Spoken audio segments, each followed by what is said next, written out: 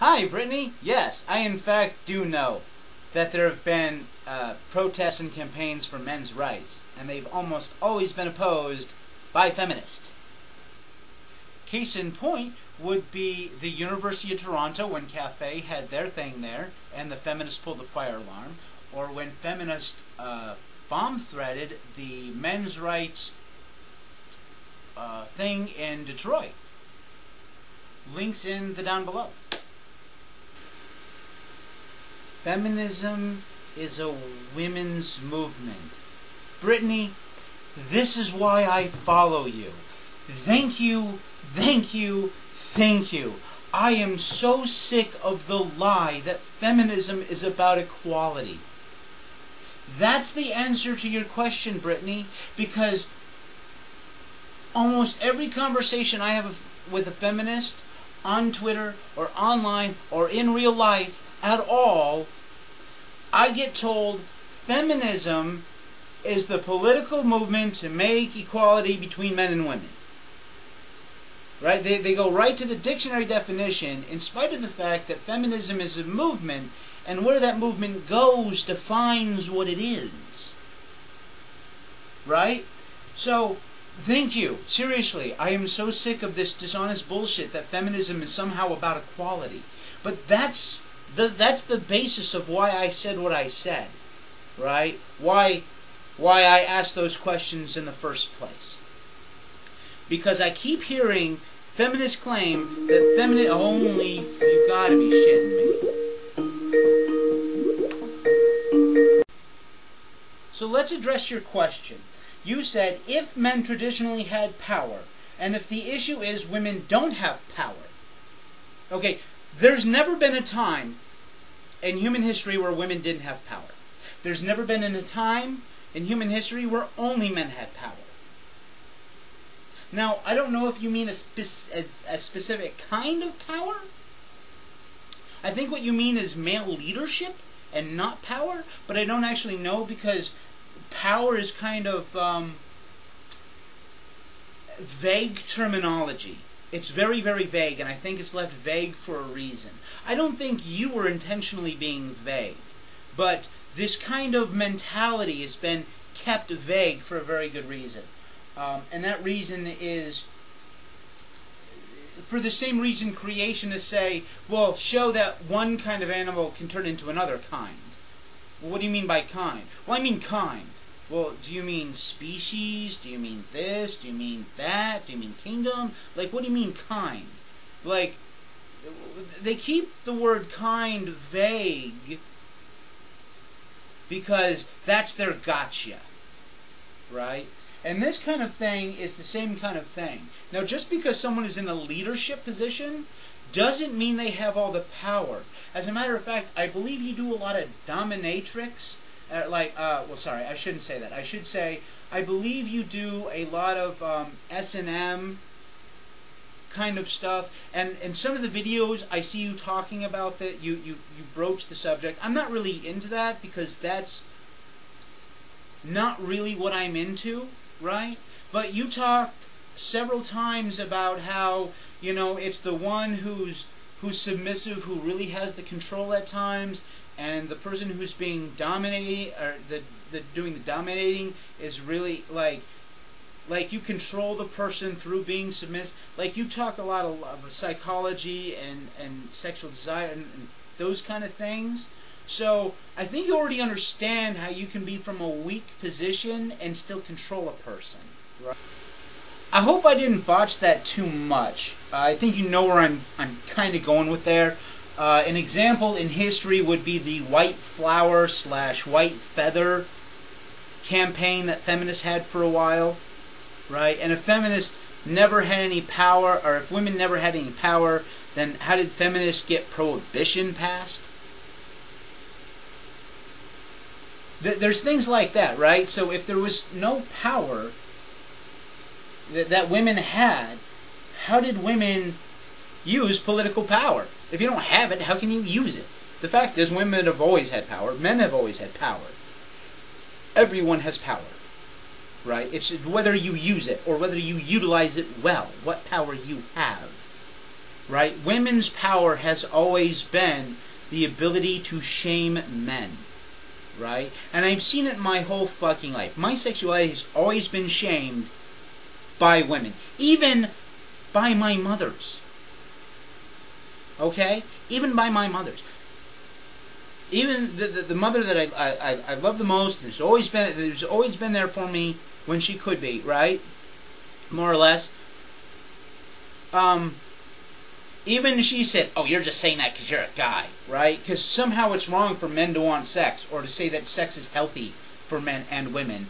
Apparently, I'm only saying that because I'm a guy, right? To get shut down for no other reason than I have testicles. The fuck."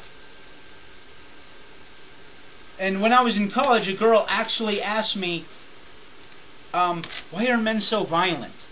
we're just sitting there. Uh, we're both studying nursing and she asked me, Why are men so violent? And my response was, Probably for the same reason women are. I have seen women be more violent than I have men. Yeah. For real. They just use violence more often in different ways than men do. Men is more direct. And I've seen women be very, very direct well, I should say females. I've seen females be very, very direct with violence, right? Um, two sisters sharing a room, always fucking violent with one another. And both have been violent against me. And when I strike back, what did our mother say? Never hit a girl.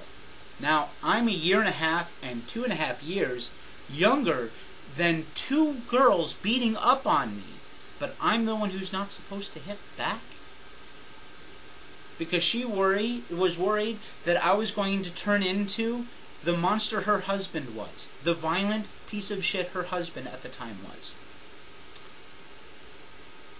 That turned out to be her daughters. it was her daughters who turned out to be the pieces of shit her horrible husband was. So, I, you know, there goes, there, there you are for irony and, and justice, right? Um, because it was it was her daughter who who got all of us kicked out of a daycare because she chased a boy down with a knife Uh, because uh, she was mad at something he had said. But only men are violent. So let's go on to your uh, toxic masculinity that you brought up in that short little video clip. And this short little video clip, uh, well, okay, it stopped being short a while ago. But uh, toxic masculinity, as, as, as all I've seen, it boils down to any masculine behavior a person X doesn't like. That's what it boils down to. Out of all the conversations I've seen, right, and you, you've in no way uh, defined toxic masculinity. I've seen the word thrown around a lot. I've seen different definitions for it, different examples for it. Um, but you did give an example. So I decided to go to Geek Feminism Wikipedia. Toxic masculinity is one of the ways in which patriarchy, mythological creature created by feminism, is harmful to men. It refers to the social construct attitudes that describe the masculine gender role as violent, unemotional, sexually aggressive, and so forth. A well-known masculinity slash men's right movement that is not mostly anti-feminist has yet to appear. For a silencing tactic used to discredit patriarchy's harm to people who are not men, see Patriarchy Hurts Men Too. Okay, so uh, I don't think they understand what patriarchy is. Um, but let's look at this. A well-known masculinity men's rights. okay, so uh, right here we can see that uh, feminism is against men's rights, or at least men's rights, the right men's rights movement.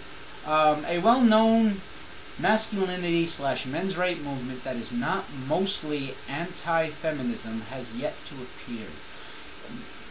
I think that would be because feminism is harmful to men because their teachings and their beliefs are harmful to men. Uh, examples. The pervasive idea of male-female interactions are competitive, not cooperative. Okay, first of all, there's nothing wrong with competition. Um, and competition and cooperation can both be useful. It depends on your attitude towards the competition. Um, though I think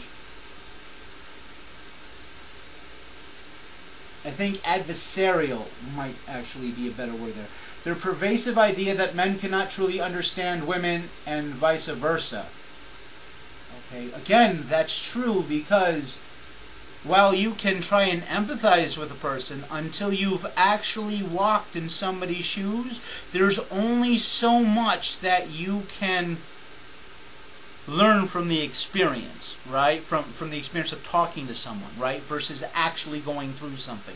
I can tell you what it's like to go through the army all day long, but if I've never been in the army, there's only so much I can actually tell you before I'm just making shit up.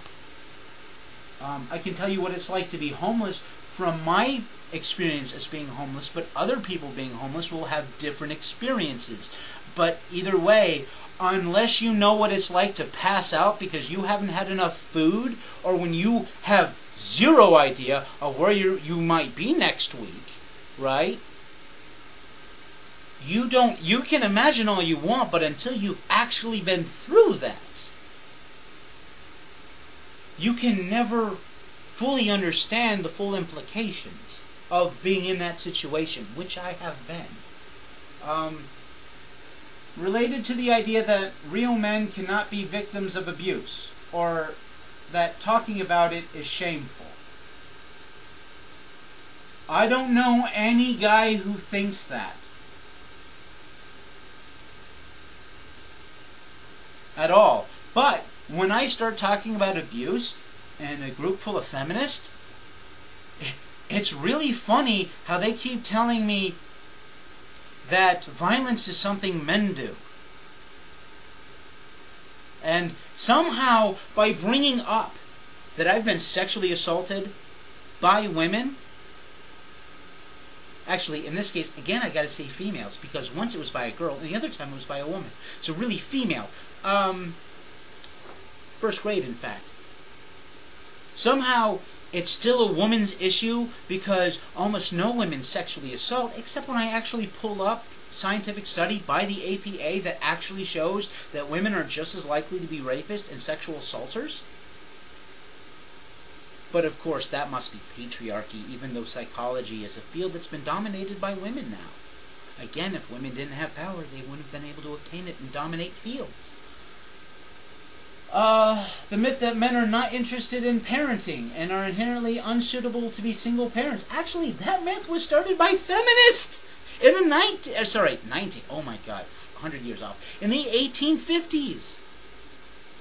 This myth that, that women are healers and nurturers and men are violent fighters was a myth started in the 1850s by a woman who wanted custody of her children so that her husband would pay her uh, child support right? This goes all the way back to the 1850s. Uh, emasculation, the idea that there is a range of feminine interests and activities a real man would not hold, and that disprove a man's masculinity regardless of his actions. Interest one's personal looks. Again, bullshit. Men have always been interested in their personal looks. Um, dressing up fashion. Yeah, no. A dude, for example, language that's heavily in masculine conversation is a guy who's very fashionable. In particular, about the clothing he wears. Um, being emotional, expressing emotion, crying. Yeah, crying is not very masculine. If your wife dies, however, every guy knows, dude, the love of your life just died, dude. Like if a guy just broke up with his girl and he's crying, like, oh, dude, I feel for you, man. Like every masculine portrayal of a guy crying, right, has been because his wife died, because he lost his girl, right? Things along those lines. The women in his life are gone for one reason or another. There's nothing more masculine than that, than crying over that reason. As a matter of fact, even in Scar, ah, Scar, Stargate SG1, there's a scene where an alien is taking care of a male child, and she says, and he says, I'm not, my mom says I'm not supposed to cry because human boys don't cry. And Colonel Neal says, no, when your mother dies, there's an exception to that rule. Right? Like, but boys aren't supposed to cry. Not because it's toxic masculinity, but because it turns women off. Right? If a guy is extremely emotional, women will not see him as a suitable mate.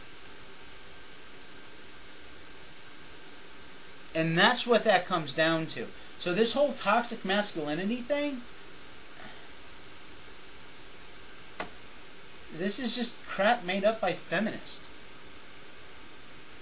N- nothing here is really is, is, is things that actually happen in real life.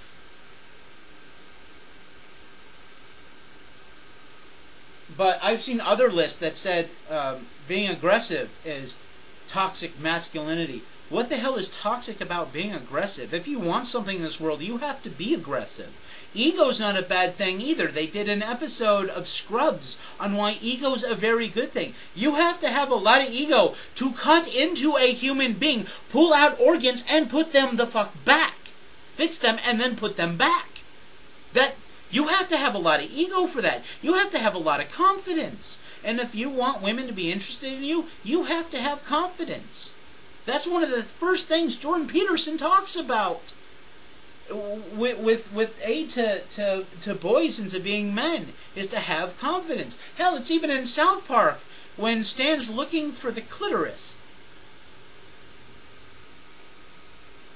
So this this whole thing is is just nonsense. I'm sorry, I don't buy in the toxic masculinity bull. Now, if you want to talk about real toxic masculinity, uh, I have seen these alpha male assholes who are only interested in like beating everyone up and threatening and if you do this I'm gonna beat the shit out of you you better not like that's that's pretty toxic masculinity and in the movie secondhand lions I think this is addressed very very well um, one of the main characters says say, says see this is what I'm talking about boys who are not raised properly who go around with their friends and cause trouble and think that's how to be a man. I'm paraphrasing, uh, of course, because I'm trying to do this briefly. It's already been like an hour. And he goes, No, and these people are too good hearted to put a stop to these guys doing this thing. And then he, then this old guy beats the crap out of four teenagers. Right after he gets out of the hospital. Uh, so, I mean, little spoiler alert, but it's a great movie. If you haven't seen it, fucking watch that movie. I don't care who you are. Everyone should see that movie. Also, uh, paying it forward, same child actor. That's all I have to say about toxic masculinity. But to address your other question of why would feminism ever deal in men's issues? Because women don't operate in a bubble. They don't operate separate from all of society right? Society is integrated. And the number one thing I hear from feminists is feminism is about equality, it's not just for women. You're the first feminist I've ever heard say that it's a movement for women. Thank you. It's a movement for women, and therefore it can't be a movement for equality. Those two are mutually exclusive. You cannot make something equal and ignore the opposite, the other side of the equation. It cannot be done.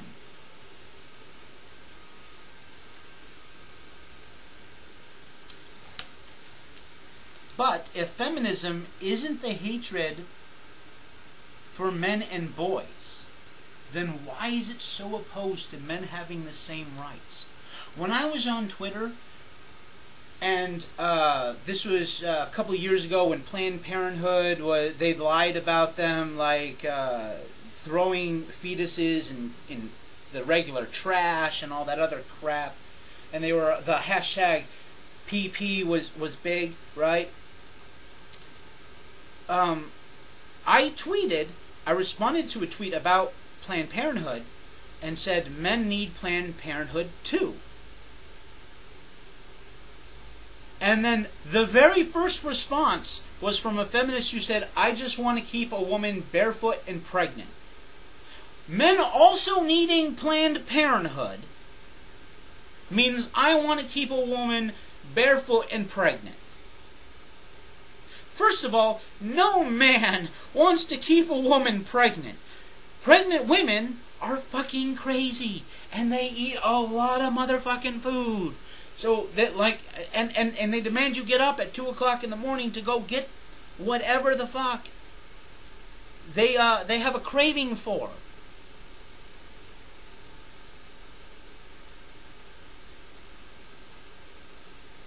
And I don't have a problem with that, right? initially, like once or twice, but after, like, no guy wants his wife to be continuously pregnant. Yeah, I want kids, right? A couple, right? But I also want to control when I have those kids. And since we're on that topic now, right? But but that was the first response. After everything, I got a slew a fucking feminist going how much I hate women. Now, first of all, I don't want to keep a woman pregnant. Any woman pregnant. My girl, my fiance, she said, if we win the lottery, you have to give me 12 kids. I said, honey, after the third one, you're not going to want 12 kids. You're not going to want one of them you already have at that point. Um,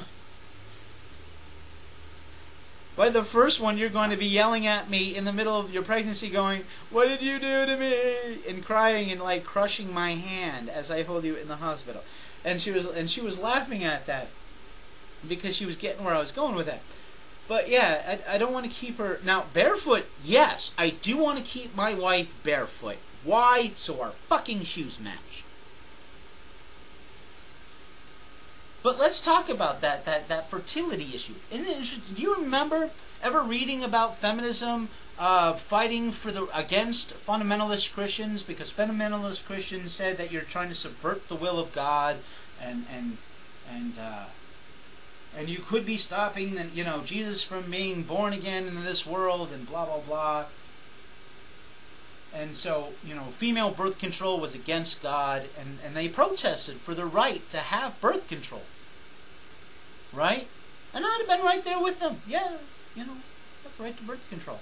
Um, but when condoms were a thing, feminists actually protested with the Christian fundamentalists. And the reason why men should not be allowed to have condoms is because men might cheat and get away with it. Yeah, you can look that up. That really fucking happened. So yeah, feminism has always been against men and boys. It's always been about power. And not just and then not power for women, but power for the right women. Um, so yeah, now you might have a completely different view, and that's perfectly fine. I will talk about these issues with you all day long, and I will do so intellectually. Now, your last question was, let's have a logical conversation about this. Um, why would why would feminism, if it's a movement for women, like let's go on that, why would feminism um, ever advocate for men and boys? And again, because women do not live in a bubble. We live together. What affects one of us affects both of us. Sometimes negative correlation, sometimes positive correlation. But if men and boys are constantly and always hurting society is going to hurt.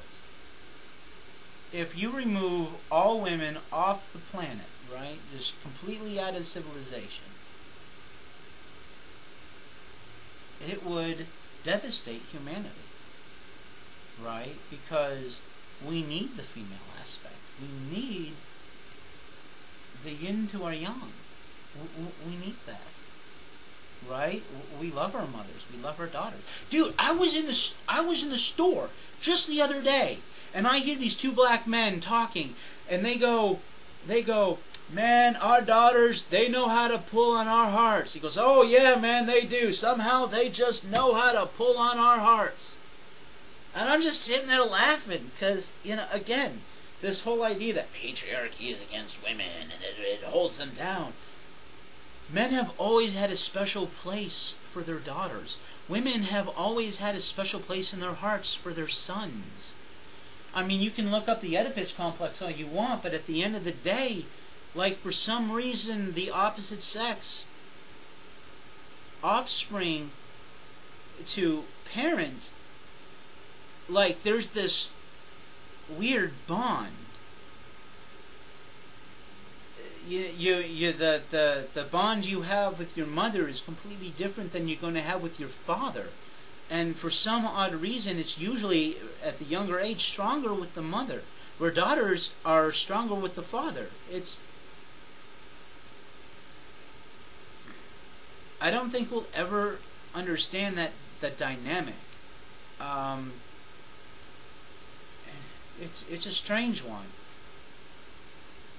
But if all men disappeared from the planet, the idea that we wouldn't have any wars anymore is complete bullshit. Because as I said before, women have been pretty violent. And I looked up earlier, um, you know, because we talked about, you know, male leadership versus female leadership, right? I mean, you said power, but I'm I'm still going off that you mean female leadership. First of all, that's an apex fallacy. The leadership we have now in office in America, because we're both Americans, is put there by women. Women are four times less likely to go to prison or jail for the same sentence a man is, right? For the, sorry, for the same crime a man is. Because we have more compassion for women. Just like um, defendants who wear glasses, they have something called the sympathy factor, right? people who wear glasses are less likely to see jail time than defendants that don't have glasses. Okay, and because women are less likely to go to prison, right, or because they're likely to get lower, lesser charges, right, than their male counterparts, you have more men who are in prison compared to women. And, you know, when you go into prison, a lot of the times you have a felony charge. If you have a felony charge, you can't vote women also have a higher birth rate than male. Or sorry, females have a higher birth rate than males. So there are actually more female voters, potentially, than there are male voters. So the men who are in office in America are in office because one, they want to be, two, they have this thick skin to run for office, and three,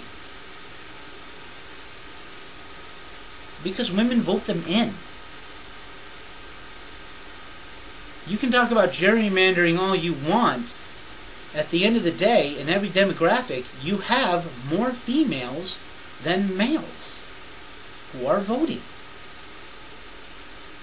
So, they control the voting. They control who goes in right? Women don't didn't vote for Sarah Palin. Women didn't vote for Hillary Clinton. Right? If you look at the vast majority of, of, of, of women versus men, in the voting process, right? Hillary said, vote for me because I have a vagina. I'm paraphrasing, but that's essentially what she said when she tried to claim that if you don't help a woman out, then you're a betrayer to your sex. I mean, I can find the exact quote for you if you'd like, but she essentially said, vote for me, I have a vagina. And uh, I almost didn't vote for her because of that and because of other things she said. Like when she said, women are the primary victims of war.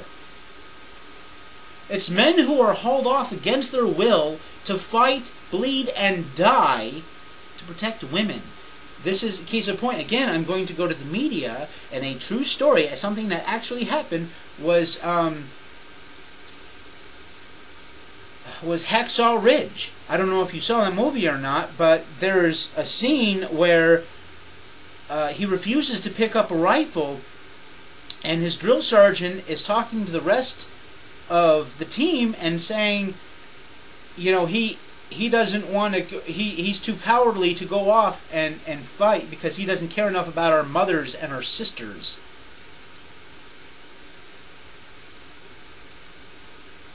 Right. That's that. That was the kind of mentality. So, yeah. If you've seen where I'm going with this, I think at this point I've made this video, you know, too long. But you want to talk about logic? Okay, let's drop the apex fallacy, right? Let's let's let's drop uh, a lot of the fallacies I see, you know, feminists use over and over again is the apex fallacy, gross overgeneralization, shit like that. Right? Like in this vague terminology of, of power. Power is a very complex thing. And like I said earlier, nothing is without power. Now, how much power and kind of power and, you know, resources to, to keep power that's all going to vary from person to person, not from gender to gender. So, I mean, I guess I've made this video too long, as it already is. Apparently it's over 27 minutes. I should probably be now about half an hour. So, if there's any part of the video, or if, if you want to focus more on anything that I've talked about, I'm very willing to do so. I'm very willing to keep an open and, and, um, Oh, now I can't find the word for it. Let's go with peaceful and calm and rational discussion. Um, here you go. It's too goddamn long. I'm going to have links in the down below. Um, enjoy, I guess? I, I don't know. It is, I guess at this point this video is whatever the fuck it is. And I may have gone off on too many tangents, too many different ideas, you know, welcome to ADHD.